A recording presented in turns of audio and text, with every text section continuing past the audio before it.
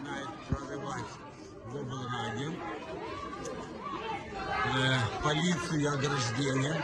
Вот те ограждения, которые мы снимали в 2014 году, они опять появились под видом коронавируса.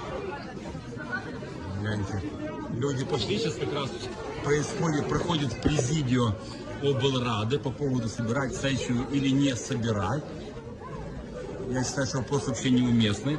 Я считаю, что именно депутаты должны стать на защиту простых граждан. Именно для этого мы их избирали. Вот, вот мы видим счастье депутата, когда его избиратели к нему дошли.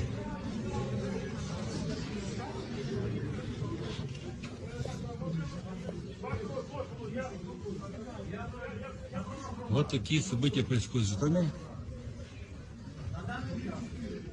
Я думаю, что таким прекрасным коллективом удастся достучаться к депутатам. Всем хорошего.